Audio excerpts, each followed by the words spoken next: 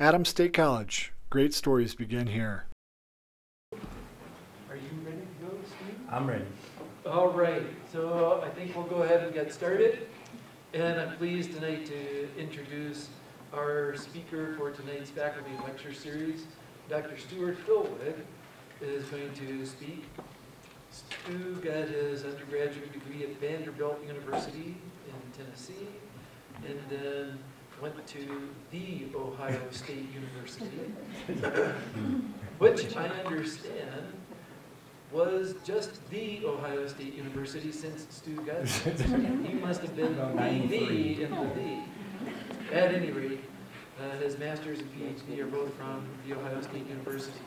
And of, Stu has been here since 2000. He's a full professor of history and has been very active doing research in the topic that he's going to be speaking about tonight. And he does have a copy of a book that he's written. If anyone is interested, please speak with Dr. Hilwig after the presentation. So please join me in welcoming Dr. Stuart Hilwig. Thank you, everybody. Uh, thank you, Marty, for introducing me. Although you got to make the final sale at the end. that's okay. Oh, that's that's that's a little better. Okay. All right. So uh, my lecture will be on uh, 1968, the year that shook the world. Uh, some of you were there. Some of you weren't. I was there, but I was a little bitty baby. Uh, it doesn't mean that I wasn't fighting the man. But in any rate, uh, so uh, to get us sort of in the mood, I, I started this. Uh, uh, my my uh, lecture will begin with a kind of a photo montage from from '68 uh, all over the world.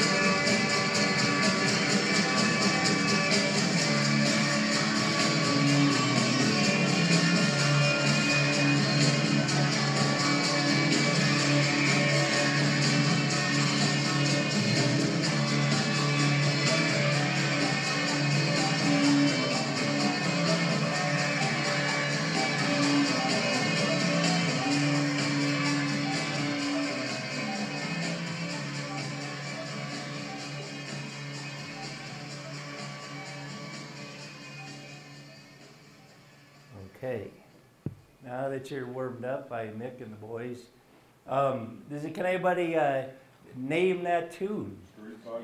Thank you. Exactly. It is, uh, the, the story is, and it may be somewhat uh, mythical, but uh, that Mick Jagger in 1968 was reading the newspapers and watching TV, and he saw what was going on in Paris in May, and he was like, What's the deal? I go into London and nothing's going on. So he says in there, he was trying, it was a call to arms. He says, In sleepy London town, there's just no place for a street fighting man, unlike their comrades in Paris. But in any case, oh, it was banned by the BBC, by the way, almost immediately. Uh, and then later on, they lightened up. But uh, so, a couple of questions that we should consider. Um, I wanted to talk about 68 as a global phenomenon, uh, but it's a it's a huge topic, obviously. Uh, but also, I want to talk about it as a local phenomenon as well. Uh, when was 1968? Well, who's buried in Grant's tomb? Uh, but there is the question of periodization, right? When we say this year, 1968, it's really symbolic or iconic of an entire period, right? Sort of, if you wanted to say the high 60s, well, that could have a couple of meanings, but the, but what that you know, sort of, you know, the period of major social mobilization. There is one author who would place it in the mid 1950s, you know, beginning with Brown versus the Board of Education, going all the way to the end of the Vietnam War.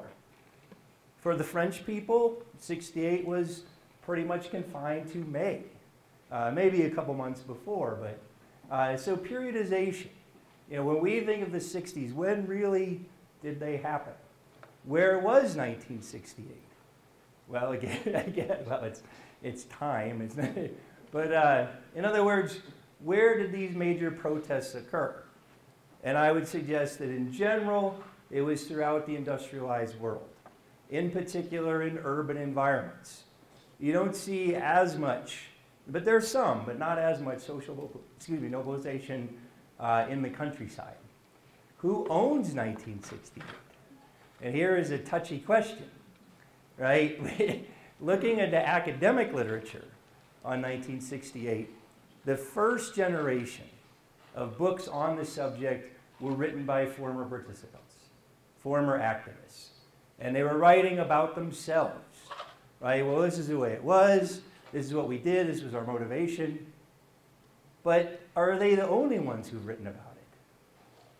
Well, I would say that for the most part they are. They went on to careers, a lot of them in academia, continued to write about the subject. But there is a second generation of scholars, and that's, I'm one of them. People born who are too young to have participated, but have new ideas, new questions. And lastly, what is the legacy of 1968? What is the political legacy, the cultural, social legacy? So let's take a look, see if this works. All right, it worked. Very good. you got to trust the scientists. They know all this gizmos work. Okay, so let's look at some of the global forces. You guys are probably familiar with a lot of them. We all know about the baby boom a massive demographic bubble, right, that appears after the Second World War, uh, time of prosperity, peace, right? And in this time, in the industrialized world, there is a growing middle class, growing much faster than ever before. This group then was going to send their kids to college, right, where they were going to get into all kinds of things.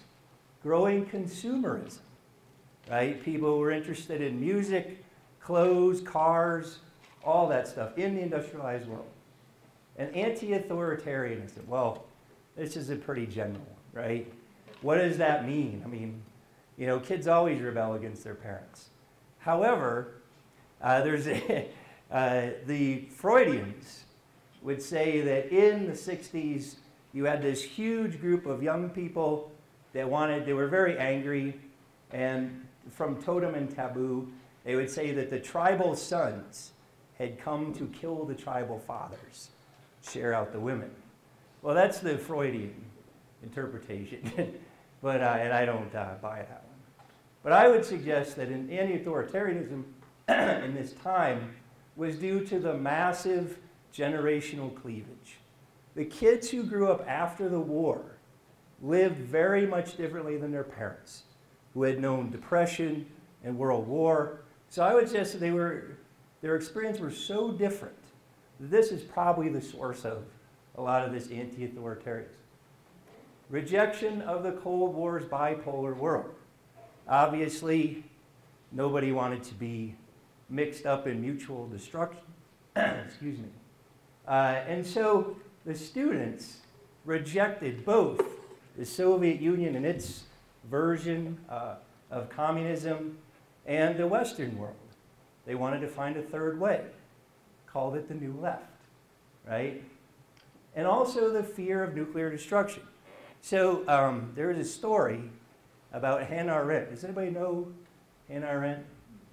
They read some of the, okay, well, uh, she was a philosopher, excuse me, and a theologian uh, at Columbia. And one of her colleagues in the, it was about 1969, excuse me, after, um, why are the kids so angry? Why are they so upset? Why are they protesting? And she said, you're, talk, you're talking about a generation that grew up in the shadow, excuse me, of the atomic bomb. Okay.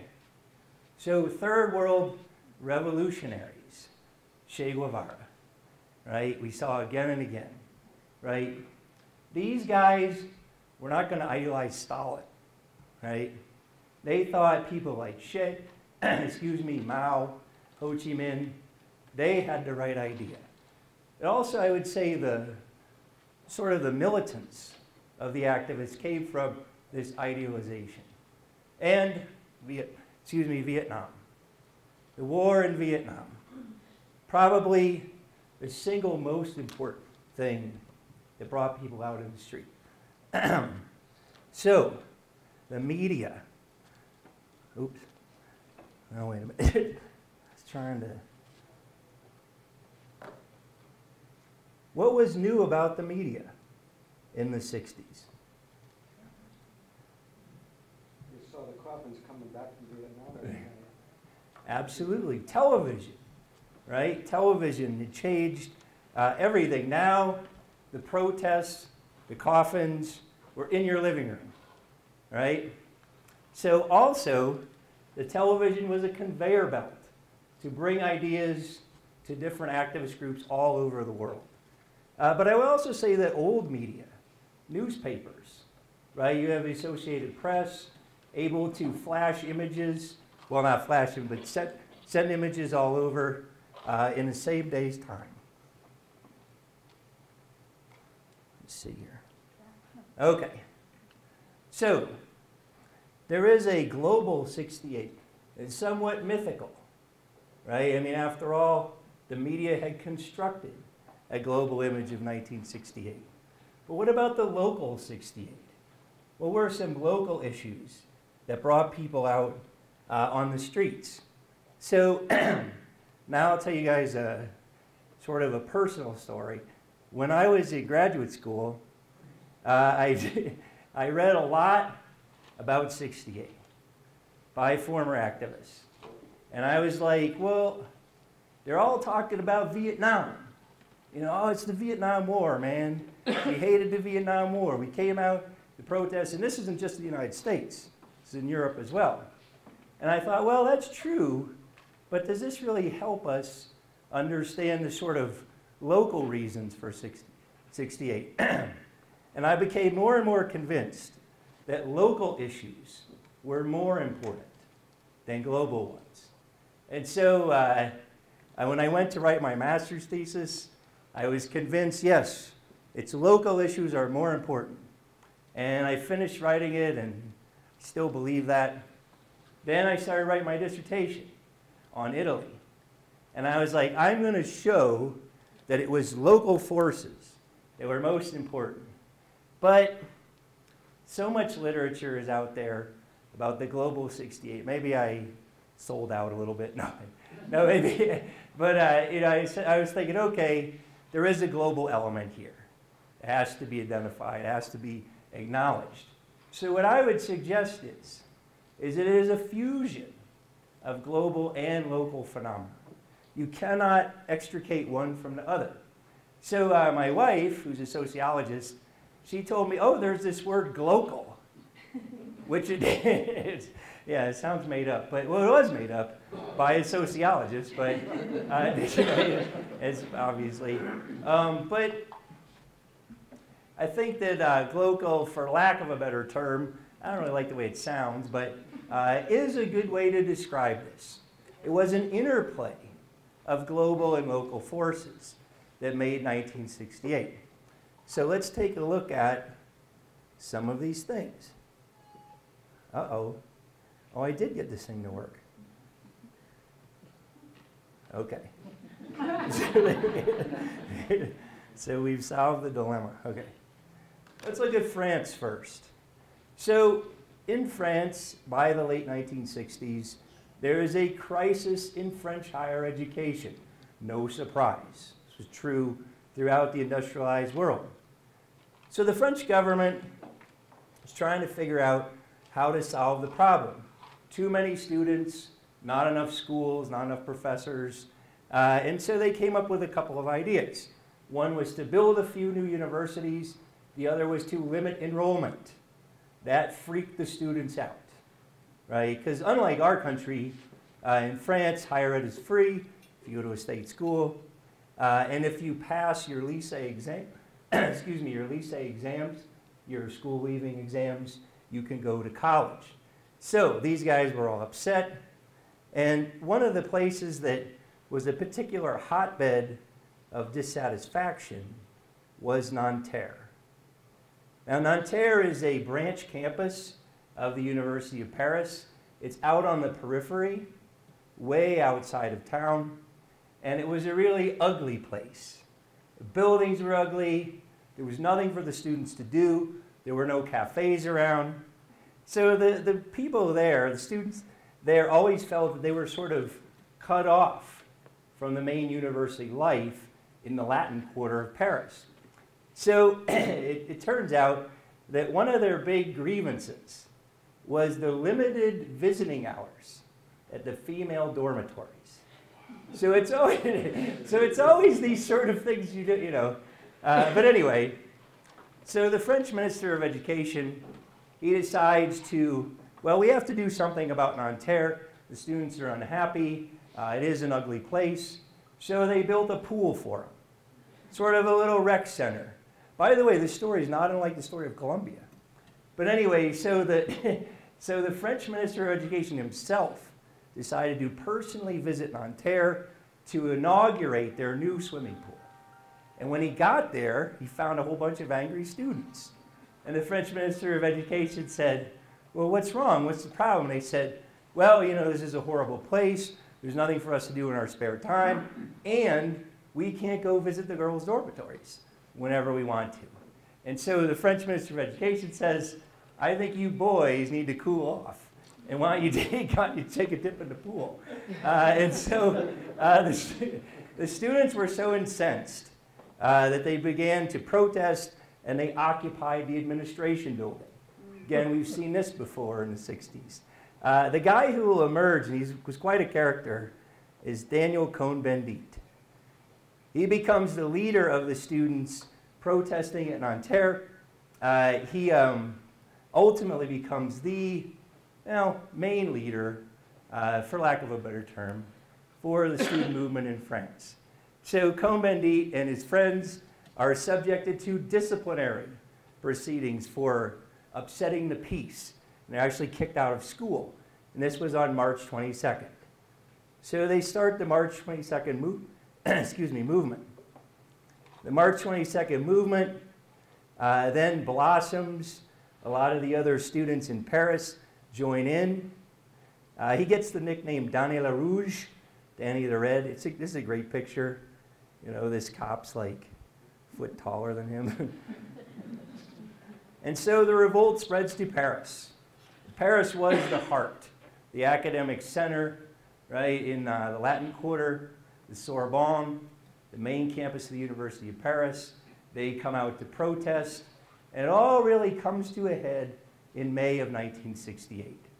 Now, what was unusual about France is that here the workers actually joined with the students, right? And so in May of 1968, you have students taking over the academic part of Paris.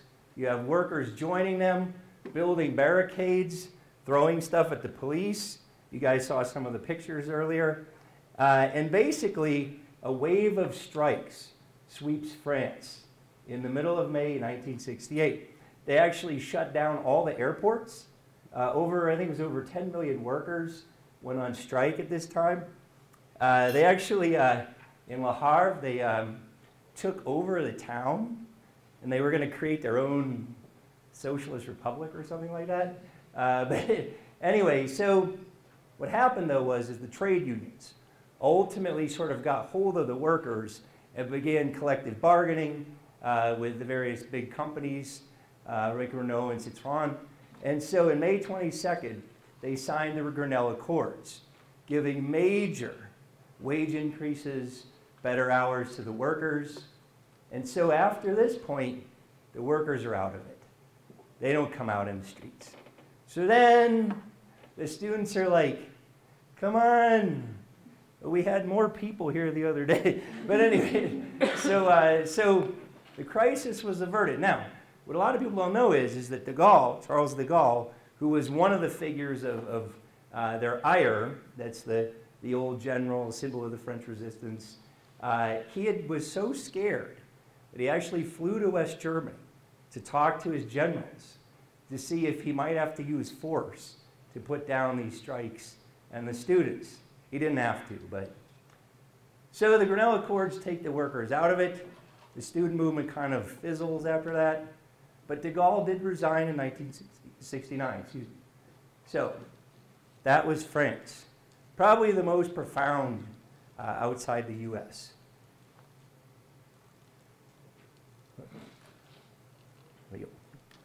Okay, Italy. And this was the subject of my own research. Um, like the French, there was a crisis in Italian higher education. Too many students, too little space.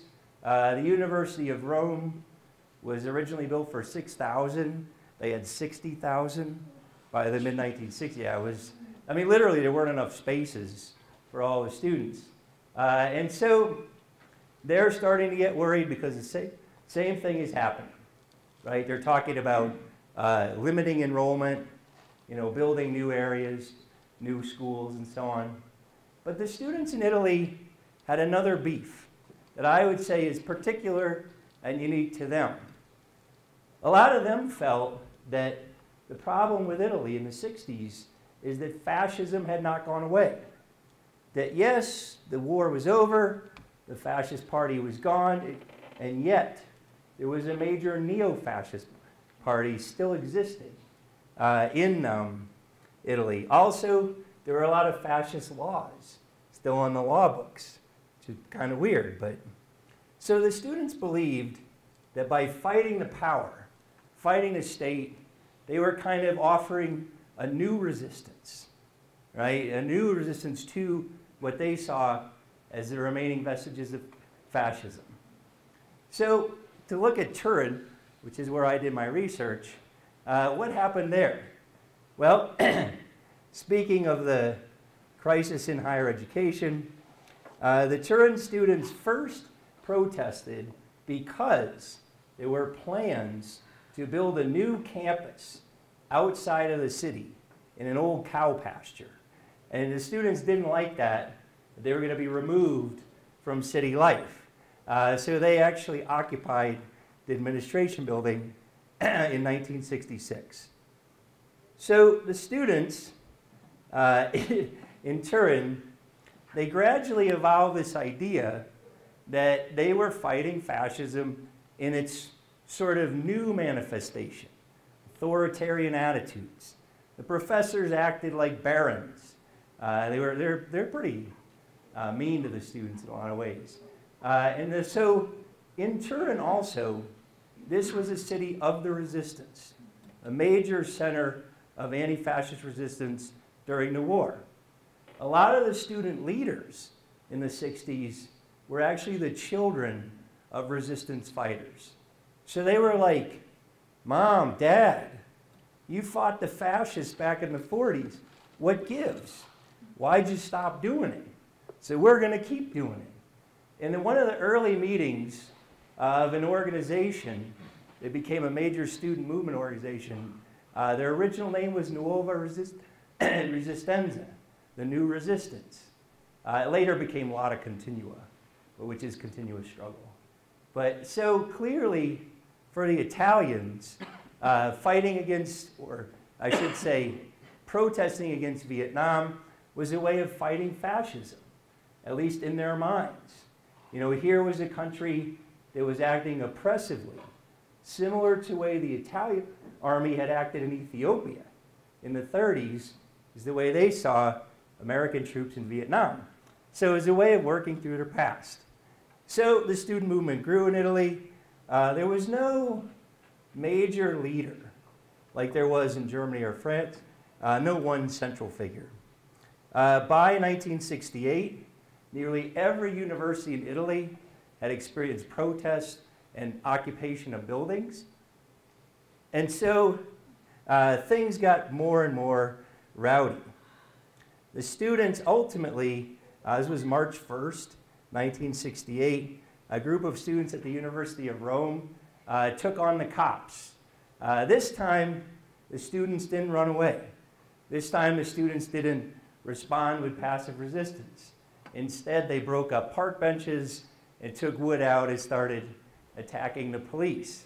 Now, I don't know if you guys noticed, that um, because of the 60s, police actually changed. You know, their uniforms changed. You know, they wore riot gear after that. But, uh, I mean, here you can see these are cops in older uh, uniforms. This was the famous Battle of the Valle Giulia. Now, I would say that we see in this, in other places, the same thing. It is a turning point. When things got really violent, then the public started to say, well, maybe the students are a little bit over the edge.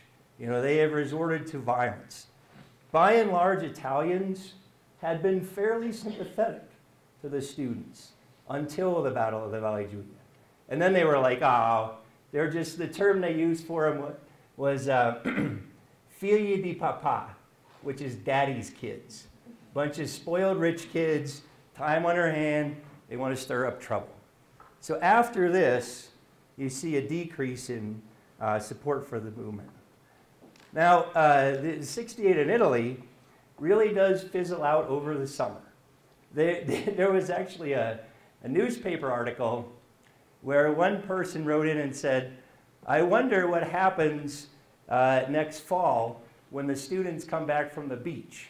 Will they still be, will they still be ready to mix it up? And uh, there was still, the movement still continued, but uh, it was not, didn't have the strength and the force it did before. However, uh, what is important though is that the Italian students, more than in any other country, believe that they could mobilize the workers. They actually did see themselves as a revolutionary vanguard. They actively went to the factories, tried to recruit workers uh, into the revolution. Well, in Italy, it kind of worked. Kind of worked. Now, there were other forces at play, right? There was um, Italian workers had been underpaid for years. Uh, the economic miracle uh, seemed to have passed them by. So they were ready to strike anyway. But a lot of people argue that it was the stu student movement that pushed them over the edge. So in the fall of 1969, millions of Italian workers came out on strike. And I had to find the picture of Fiat, right? One of the main, biggest employer in Italy. And so they call this the hot autumn, l'autunno caldo. And so they did succeed. They actually did get major wage increases. Uh, in a similar way, at first, when they came out on strike, it was without union authorization. The workers were doing all kinds of crazy stuff. And they're like, what the heck, you know? we didn't authorize this strike. And then the unions eventually got hold of the workers' movement and steered it uh, in their direction. But so you can't say that 68 in Italy students didn't have a major impact uh, on the rest of society. Now, it's funny because in general, you don't see the active sort of the, the students in other countries did not go to the workers. In fact, uh, in the Germans, the West Germans, they believed that the workers were bought off by the state and there's no point in trying to, but not in Italy. Not in Italy. Educational reform, the question mark is very appropriate. eh, not so much. there was a little bit, they increased access. Uh, more working class kids could go to school. They offered more evening classes and stuff. Uh, they built some new campuses, but in general, having been around an Italian university, it was, I wouldn't say that that part was uh, that, that profound. Okay, 1968 in West Germany. Again, the crisis in West German higher education. Too many kids, too little space. Here, of course, the students were fighting against a Nazi past. Now, at least in Italy, there was a significant resistance to build on. I mean, there was a serious anti fascist resistance, particularly in Turin.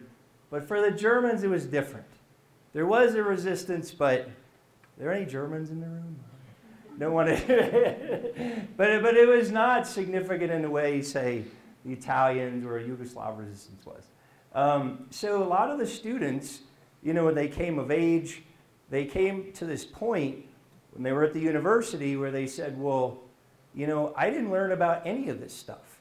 I didn't learn about the camps, about the Holocaust when I was in high school. You know, and mom, dad, what did you do during the war? I had this, this uh, professor uh, in Berlin that I interviewed, and she told me that she had a student in her seminar, this was in the late 60s, uh, who um, went home to his family and said, uh, Dad, we learned that in the concentration camps, they tattooed the inmates. And he said, and you have a tattoo on your arm. What, you know, you weren't in the, and turns out his dad was in the SS. It was a Blutkorb number, which was like a, um, a blood type number. So if you, you know, got hurt, they could give you the right transfusion. Yeah. You can imagine that there were some family discussions after that. But in any case, so again, this is unique and local to West Germany. Now, the epicenter of all of it becomes West Berlin. In particular, the Freie Universität, the Free University of Berlin, a school built after the war with lots of American funding. They have the John F. Kennedy Library there, the largest collection of, I think it's the largest collection of American literature outside the US. But in any way, that became the epicenter. And it was an organization called the SDS. We've heard of this before, right? Which was? No, no, no, no. It is the Socialist German Student Union, Sozialistische Deutsche Studentenverbund, right? Now that you're clear on the SDS. but, but this is now, what's funny though is uh, I, I, read a book this summer uh, talking about the connections between the West German SDS and the SDS of the United States, and they were actually pretty significant. I, I didn't know that. But, and one of the things the names were, the acronyms were similar. So the SDS in West Berlin, uh, they become the main movers, and the figure who emerges is Rudi Dutschke, Red Rudy. He just looks like he's stirring up the people, right? and he's, believe me, there were even more like crazy pictures. But uh, Rudi Dutschke himself came from East Germany. He was actually an immigrant student who never went back home you know, went over the, to the west side of Berlin and never went back. Uh, he uh, was very enamored with Che Guevara and some of the Third World revolutionaries. And he's the one who, um, well, he, he didn't, initially, he did not support violence in any way. And, um, but Later on, he became more militant, uh, but he's the one who will steer the uh, SDS at the Free University in a radical direction. Now, of course, the Berliners were very upset about this. Why would Berliners be upset about radical students marching in the streets? Well, they're German. They don't like any dissension. But why do they, you know, why, uh, why would the Berliners in particular be, uh, what's that, Joe? Reminds me of the Grand Circus. Well, actually, and that was one of the things they were accused of. They were accused of being left wing Nazis. Actually, it was Jürgen Habermas used the term Linksfaschisten, left wing fascists, which was a way to di- disparage the movement. But no, this was West Berlin, surrounded by East Germany. You know, no, no, no, no, don't start anything. The Russians are going to invade if they know we're. So, anyway, so the Berliners, this was a great sort of like, um, what would you say, vinegar and oil kind of situation. Like the town, you know, there was an uh, army base there, American troops were there all the time, and yet there's these left wing students stirring up trouble. It was a bad mixture. And so uh, Berlin then gets a lot of the press. They also had a press that was uh, severely anti student. So, what else did the Berliners do? Well, they copied American counterculture. Uh, I would suggest that of the European student movements uh, in the 60s, is probably the West Germans that were the most interested in American models and American uh, themes. So this is famous Kommune Eins. It was a commune in the middle of the city. I think they had um, like a whole big floor on an apartment building. There was a second one. These guys got in an argument, and then they created Kommune Eins, uh, Zwei, excuse me, the second one. Uh, but you know, they were all into communal living, right? I met this guy. Rainer, he's a character. Rainer Langhans, he is, he's a character. Um, but anyway, so they were trying to copy American counterculture to a certain extent. Uh, also, the Black Panthers, believe it or not, were considered a major influence uh, on the West German SDS. So, similar to Italy, there is a turning point. November of 1968, there was a major street fight. Uh, it was actually um, Horst Mahler, who was a lawyer for the SDS. He himself was arrested for disturbing the peace, and he went on trial. So students came down to the court to protest in solidarity for him. Uh, and this time, when the cops showed up, they, they, un, you know, they pulled up paving stones and threw them at the police. So that was, and this again, at that point, then public opinion really turns against the movement. So there were some reforms to German higher ed, probably more than the, the Italian, excuse me. Um, but uh, the student movement did fizzle out. Uh, now, one of the things in the student movement in West Germany, again, like the US student movement, is the question of women movement. Uh, it seems that, you know, all the leaders were male. Uh, free love was, you know, the idea, but a lot of people said, well, who's really benefiting? Uh, well, I guess they, you know, it's a matter of perspective, but uh, I mean, you know, but anyway, so uh, it was actually the women in the SDS wanted to speak at a meeting, and they had stuff thrown at them, you know, and told to shut up, and so they actually broke off and formed their own version of the female SDS. But so, but the good thing was, is that Willy Brandt, who was sympathetic to the movement, uh, his son was in the movement, uh, became chancellor in 1969. And he did steer Germany in a more, well, left leaning, I guess, direction. Uh, he also called for um, a rapprochement with the East. So he tried to also mitigate the East West conflict. And he's sort of the, I don't know, I guess you could call him the German Kennedy, sort of. Okay, Czechoslovakia. And this is a really interesting one. This is the other side of the Iron Curtain, right? A communist republic, People's Republic after the war, part of the Warsaw Pact. Uh, Czechoslovakia also had a baby boom. They also had more students going to college than ever before. They were experiencing an economic slowdown. And so the interesting part about Czechoslovakia is that the students and other people came out on the side of the government rather than against it.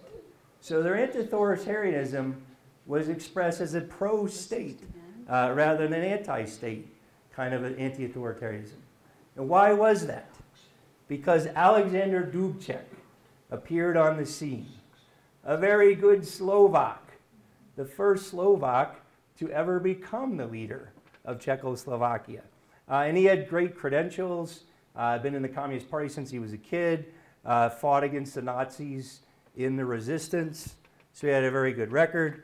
Uh, he actually, um, he and some of the other guys in the party managed a kind of palace revolution the beginning of 1968. They, they got rid of the Stalinist guy, uh, Frank Novotny, no, uh, Anton Novotny. Anton Novotny. they managed to push, him out of power, uh, and, and Dubček becomes the leader of the Communist Party in Czechoslovakia and the state.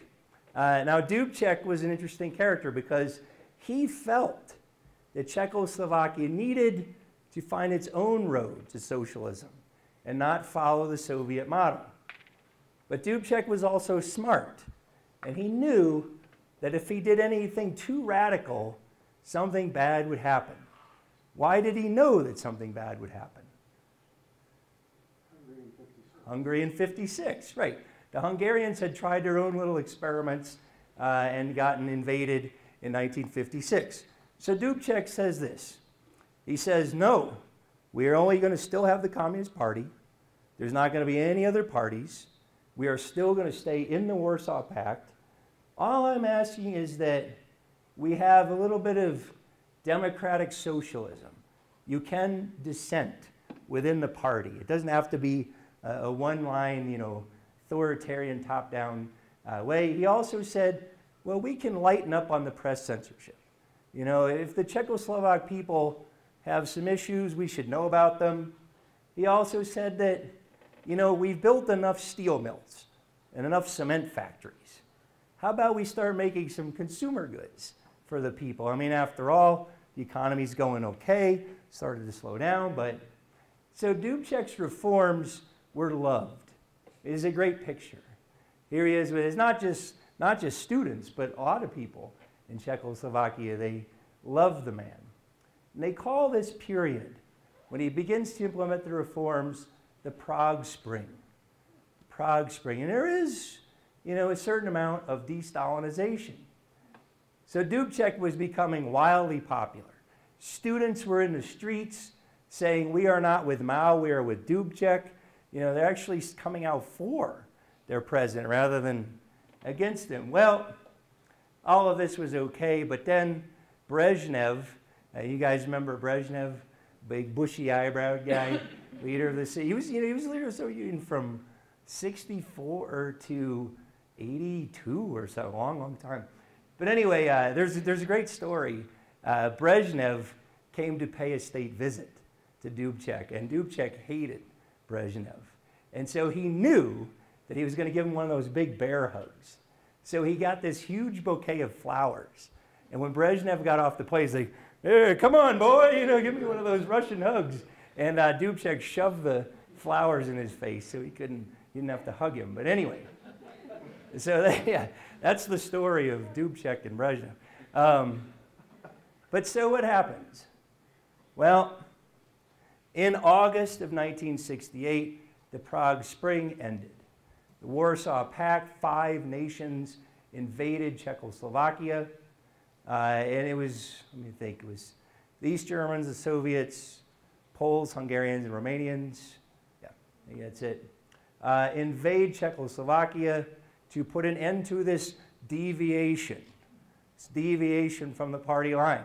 This is the iconic and famous picture, right? They got, this is a young worker actually, uh, who's basically like, shoot me here, yeah, show how, you know, how tough you are. Uh, and so the Prague Spring was crushed. Dubček was kidnapped, taken to the Kremlin, where I guess he was given a real uh, tongue lashing by Brezhnev. Uh, he was in, I think he was there about three days. Uh, he was demoted to head of the Forestry Commission, which actually I think Dubček kind of liked. Well, he probably liked being the, being the head of the country better. Uh, and they did replace him with a Soviet uh, toady, uh, Gustav Husak, after um, Brezhnev, or excuse me, Dubček was out of it. But the important thing I think about 68 in Czechoslovakia is not that it failed, but its legacy, right? Who was there? Václav Havel, the playwright, who would then be the leader of the Velvet Revolution, which we all do remember from 89. Uh, and one of the things that he talks about is the power of the powerless, right? That there's a certain, you know, if the people just don't believe anymore, then you've lost them, right? And this is, this is what he was getting at, that this was the final straw. The people of Eastern Europe were like, come on, Hungary in 56, Czechoslovakia in 68, forget about it. The Soviets are nothing more than an empire that wants to hold on to its territory. You know, there is no workers of the world unite. That's all baloney. So the power of the powerless, which ultimately does help unseat the Soviet Union's hold over Eastern Europe in the late 80s. Now, uh, if you think about it, Gorbachev had a lot of the same qualities of Dubček. He thought the system could be reformed. Now, what is it? Um, oh, my wife was telling me it's Theda Skocpol, a sociologist, and she has a theory on revolutions, right? Whenever an oppressive regime tries to reform itself, that's the most dangerous time. That's when everything goes kablooey, right? Because people have a measure of their misery and they have rising expectations. And that's exactly what uh, Dubček unleashed in 68. So, in 1989, in Eastern Europe, it was fashionable to say 89 is 68 upside down. And it really is. Go ahead, Mike, write it on the page. You'll see it. It is, it is in fact, it is in fact uh, 68 upside down. Okay. Our last example, uh, I would promised uh, world, but we'll get two continents. Uh, so, um, 68 in Mexico. Mexico also had a phenomenal uh, baby boom. Actually, um, they had their baby boom went all the way back to the 40s even. So they have a, a huge amount of young people. As you guys know, Mexico also a very serious wealth disparity. But by the 60s, there was a large bubble of middle class students moving through the Mexican universities. They also were very enamored of third world revolutionaries, Fidel Castro and Che Guevara in particular. So the student anti authoritarianism manifested itself in an anti PRI. Does anybody know what is the PRI? Institutional Revolutionary Party, Right, and it always makes me laugh. seventy-five years in power. That's right, that's right. At this point, they had been in power almost 40 years. The Institutional Revolutionary Party. It almost sounds like jumbo shrimp, right? You know, the institutional, re- how do you institutionalize a revolution? I don't know. Uh, what is the party of the Mexican Revolution? But anyway, the PRI at this point have been in power almost 40 years. And the students are like, come on, it's time for a change. We call ourselves the Mexican Republic, but you know, there's been one party in power all along. Now, the guy who uh, comes into power in 1964 is Gustavo uh, Ordaz Diaz, Diaz Ordaz, uh, and he is very repressive, very um, well. In, in Mexico, they would call it a pan o palo kind of guy. You know, he'll give you some bread or you get the stick. You know, that's the he was a kind of a, a hard nosed guy, Ordaz, and the students are like, this guy's got to go, right?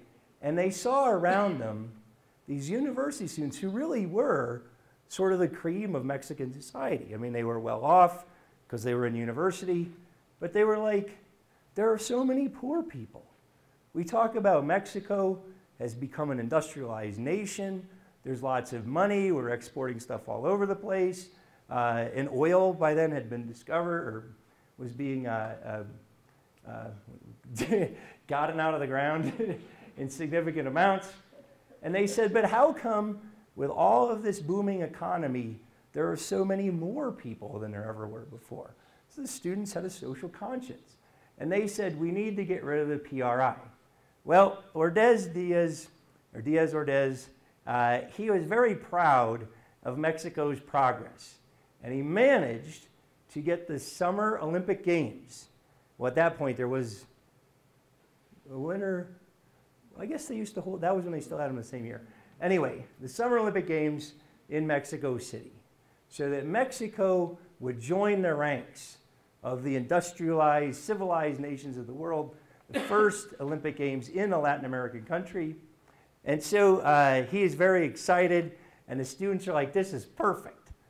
With all the world watching, we're going to stage a massive demonstration, right? And let the world know hey, not everything in Mexico is all rosy and golden. You know, there's, there's all these problems. So, July 25th, 1968, while the Olympic Games is going on, the students came out in protest. It was the anniversary of Castro's revolution in Cuba, right? July 25th, 59. Well, anyway, the students come out, and Diaz Ordaz knew, somehow found out, and the students were dispersed. They managed to break up the demonstration. They didn't want the bad publicity. But the students were still convinced this is the thing to do. We need to draw attention to Mexico's problems. And then, of course, I put this in because, as you guys know, uh, there were two African American athletes that made a Black Power salute when they won medals at the Olympic Games.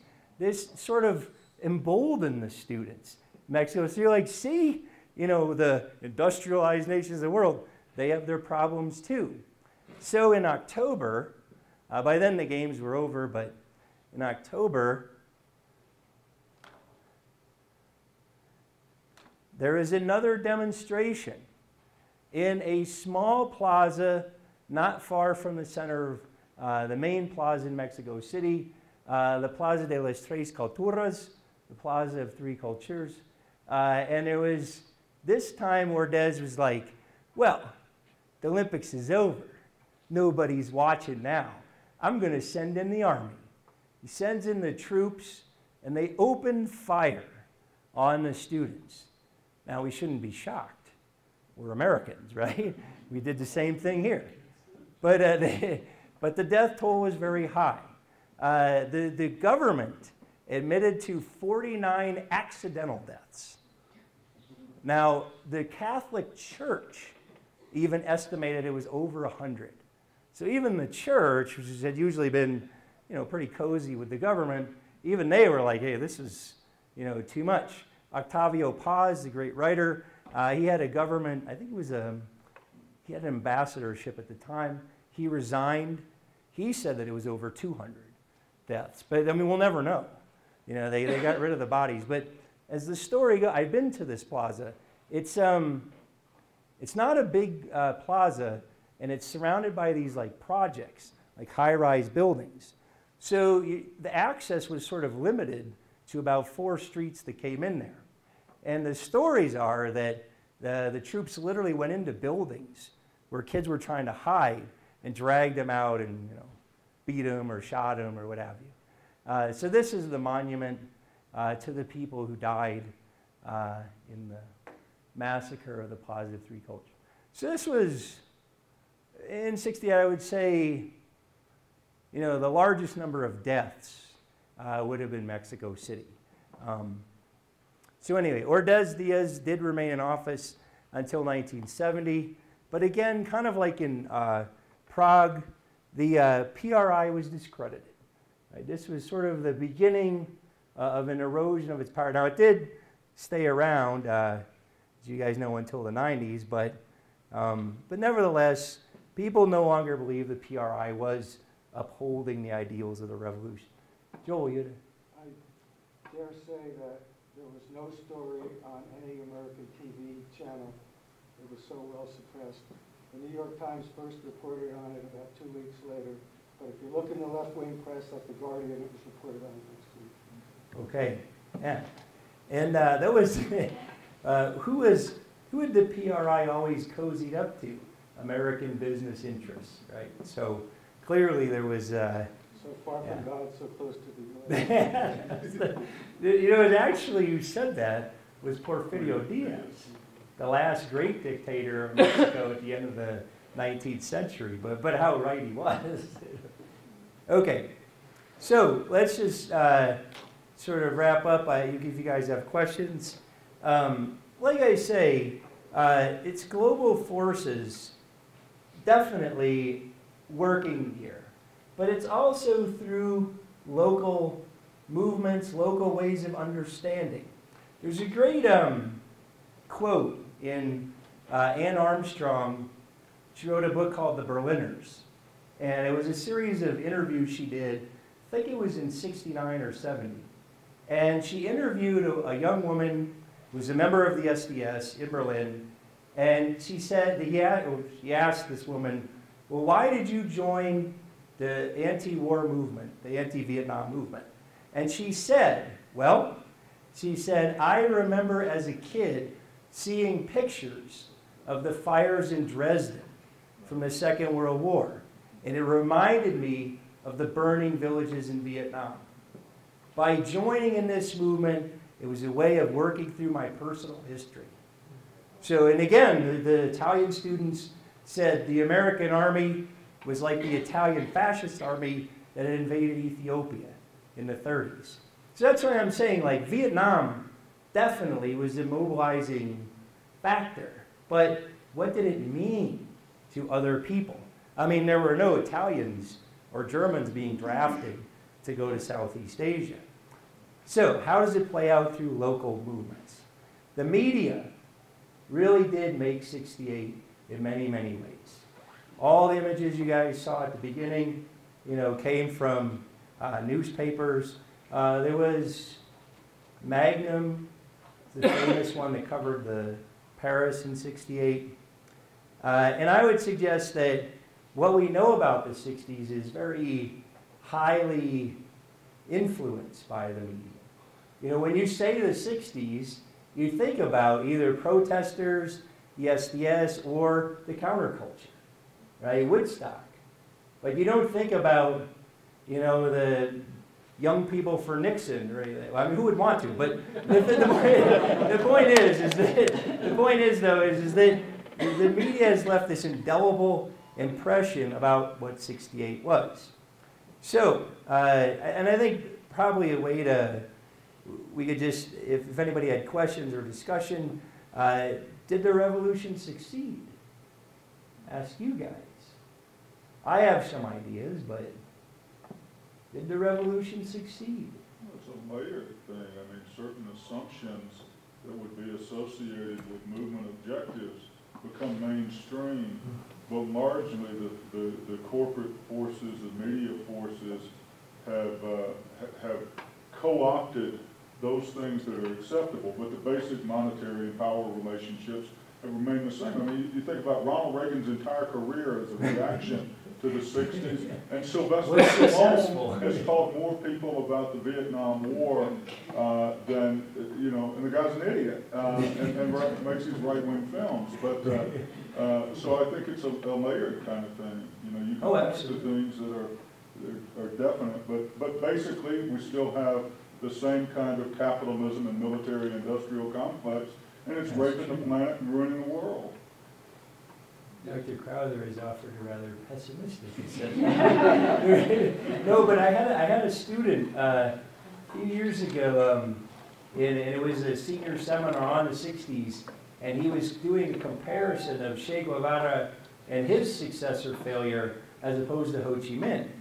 And in his final analysis, he said, well, Ho Chi Minh actually did succeed, you know, in getting the Americans out of this, South Vietnam. Uh, whereas Che Guevara hopped from country to country, started revolutions, but then never really followed through. And uh, he said, I wish I could remember how the student said at the end, and, and what's left of Che Guevara other than a really popular image on a t-shirt? No offense, but, it is, but, but, but, this is the thing though. Uh, I mean, you guys can see though, that within the new left, within the new left, you know, of course you're gonna idealize Che Guevara. He was young and good looking. No one's gonna put a picture of Stalin on their shirt. No, I mean, you know, there's, I mean, but, and, and Che wanted a worldwide revolution. It was truly a, you know, let's spread the revolution everywhere. But, yeah, I mean, it is true, Ed, what do you say? I mean, if you look at the, the basic, now, politically, it's been sort of my judgment that politically, 68 didn't change that. You know, I mean, it, in some places, like Prague, there was major reaction by conservative forces, right? In the United States, right? Nixon is elected. Uh, Italy actually swung a little bit left after, but that's kind of uh, different. De Gaulle uh, was not forced out of power, he resigned the following year. But I think culturally, what are most of you guys wearing? Right? The women in here are not all in dresses. Right? This is blue jeans, man. It's power to the people. Denim to travail, right? So, uh, but you know, culturally, tremendous change, tremendous change. And some people might interpret it as bad change, some people might interpret it as good change, but I think culturally, absolutely. You know, that uh, it's not weird for girls to ask guys out on dates. In fact, it's encouraged.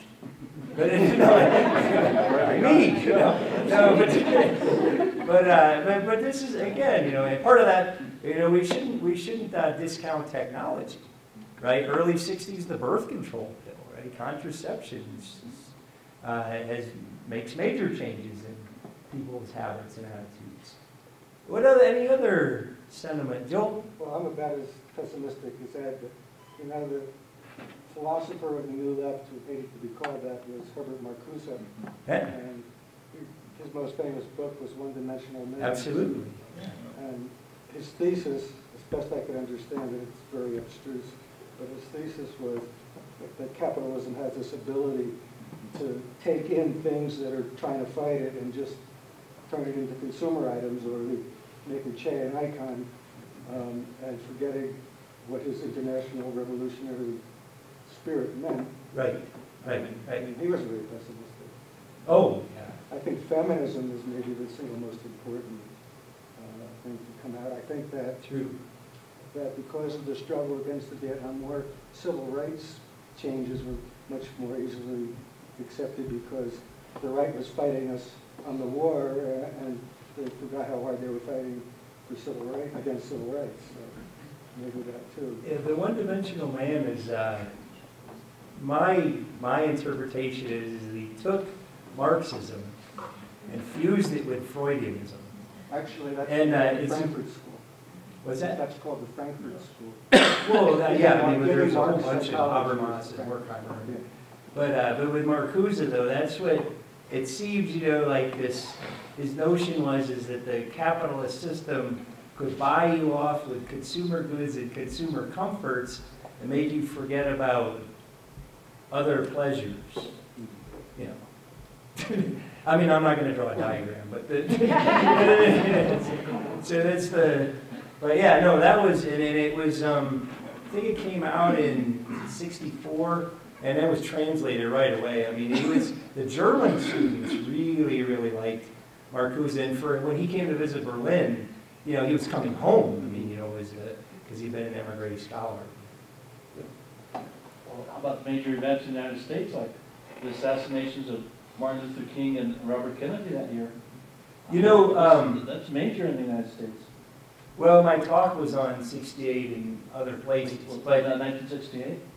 yeah. Well, what I was gonna say though is, is that there were solidarity marches and protests for both when, uh, when King was assassinated and Kennedy in Italy, in, uh, in Germany. I'm not as certain about France, but probably. Uh, I, I, I've actually seen, uh, the police records in Turin for arresting people, and it was, uh, a, a solidarity, or however you want to say it, a demonstration when the death of Martin Luther King was announced. So yeah, no, some of those events did percolate other places too. Was it Cohn Bendit or Dutschke got um, shot in the head. Dutschke was shot in the head. Yeah, by a, a right winger. It's actually a little bit like what we saw in Tucson. A, a young, a young crazed person who read a lot of the Springer Press, which was severely anti-student. So, uh, I'm not saying that the press killed or wounded, but this guy was, this Joseph Bachmann, that they, uh, eventually they hunted him down. And, uh, but supposedly, yeah, he was uh, and somewhat of a neo-Nazi. Um, but yeah, Dutschke lived, but then died. Um, he had brain damage, permanent brain damage after that. And Um, guess going back to technology and media, um, since the Vietnam War was the first televised war, I guess after 1968, more people probably thought about, or I should say the censors probably thought more about what we should show and shouldn't, because, after 60. yeah, after 68. Oh, yeah. That's probably something kind of Yeah, there's no media Dover Air Force Base Yeah. now, is there? Yeah, but the was the city media is embedded, which has this wonderful effect of forming bonds so that the images are portrayed uh, as favorably as possible. But the biggest thing is it, it, it, there's no commodified message. The confusion allows for there not to be a single message, you know, and so Dover would be a focal point. So instead you get, right, you get right. these incidents that are disconnected, and that's deliberate. I mean, the Pentagon, you know, that's what they learned from Vietnam. So everybody's guessing. Yeah. You know, is it good, is it bad, I don't We know. sort of get all You know, I got these images, I these got point of views from both sides and just don't really know who to believe. You just Well, it's the, Have to like the whole yourself. evolution debate. You know, it's only popular magazines that talk about, well, it's only a theory, and uh, every scientific journal says evolutionary theories. Accurate, but, but that's not what we came here to talk about. Yeah, Um, Do you think the events of, um, just kind of going to what's going on now, do you think some of the events of 1968 and what happened then, do you think that that might spark something new with what we're seeing now between, you know, Tunisia, Egypt, now Bahrain is starting? I mean, do you think we're going to kind of see another pattern of revolt in the same massive scope that we did in 68? Well, I mean, it would always, it would always depend on how repressive the state is, right? Because, I mean, Czechoslovakia, you know, the great example, I mean, their revolt was crushed, and then it's not till eighty-nine that, you know, then, uh, like I said, I mean, there was, the ideas of it never went away, but politically, uh, so I think it will be interesting to see what happens in, in the Middle East, because clearly, you know, people are fed up with these authoritarian regimes, and, you know, Mubarak did step down, which is, which is big, so, in the United States, though, where are we on all this? Well, we're cautiously, because Mubarak was our man, you know, he was our bud, so it's, you know, but, but no, I do think, though, that you are seeing, and probably in the same way, is that there is a middle class of young in these countries. Well, Bahrain, I mean, they have tons of oil wealth, right? You know, and, and they're like fed up with this old system and the old fogies that are running it. So I think there are some similarities. I can't, I, I don't know where it might go, but like I said, it depends how repressive the various regimes are. Sue, your comment about the old fogies are running it reminds me. Well, I'm, I'm just saying, in, in, in the other parts of the world, No, but it's true. Uh, Ted Turner made an interesting point. He said the world will continue as it is right now in its turmoil and war until we get to the point where women run everything. that could be a good thing. Or could it? Who knows? Uh, There's a great line in, um, there's an Italian film called The Best of Youth, and it follows these, this generation basically that was in the student movement, and then as they got older and stuff. And they have this one guy who's taking his oral exams at the university, and his professor is like, you know, the kid does very well. He answers the question very well. And the professor says to him, you know what is wrong with Italy? And the student's like, uh, no, sir, what, what is wrong with Italy? It is a country run by dinosaurs. And then the kid's like, oh. And then he looks and he goes, I'm one of those dinosaurs.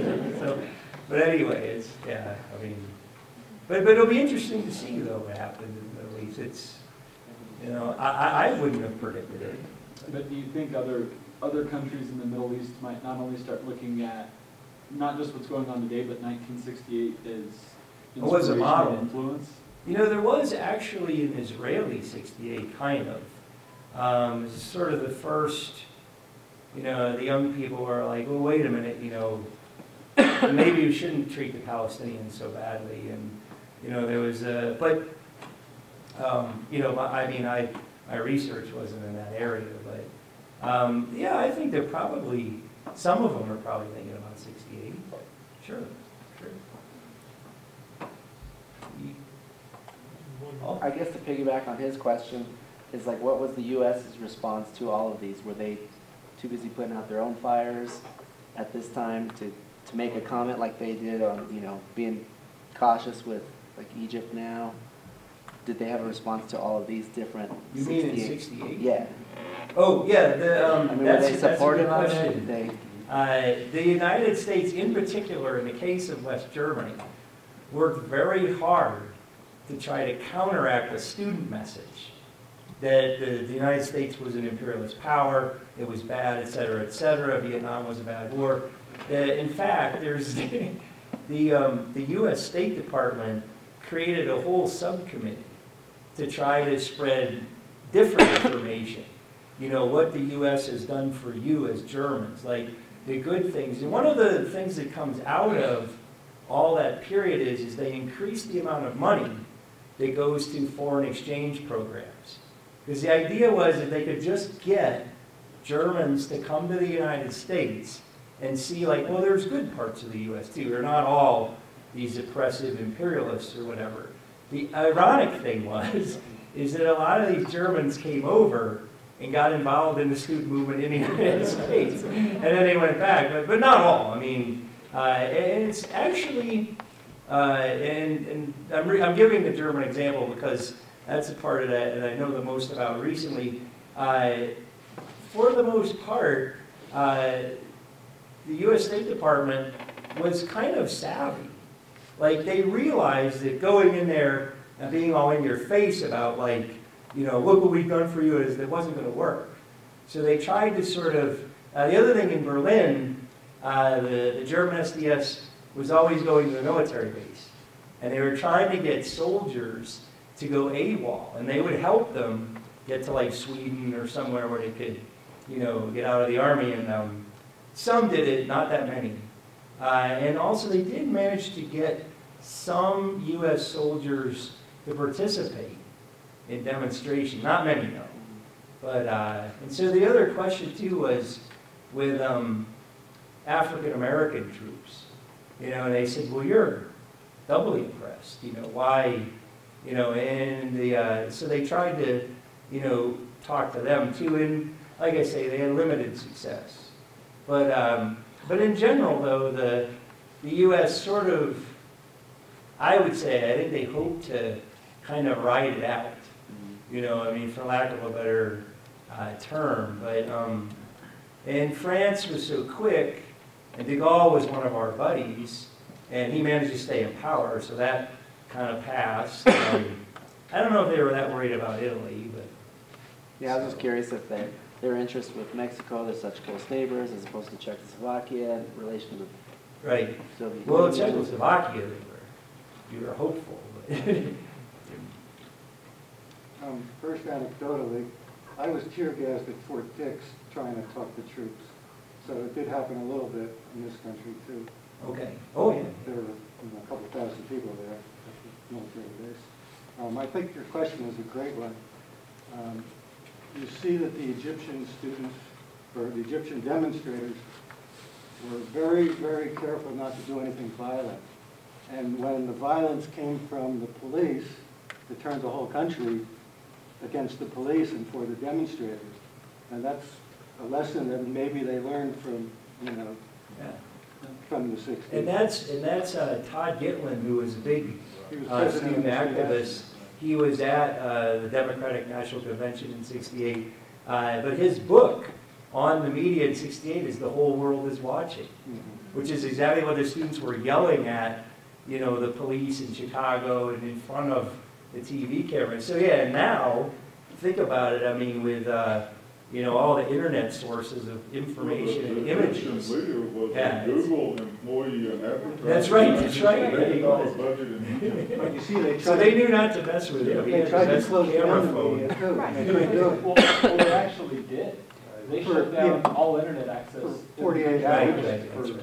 quite a while. For a because- couple You weren't gonna be able to keep it that way, though. That's- it's, uh, it's not a- So I'm sorry to uh, cut this off, but given the time, I'm going to ask us to thank our speaker, and if you wish to speak with him some more, come down after the presentation. Thank you. Thank you. Adams State College. Great stories begin here.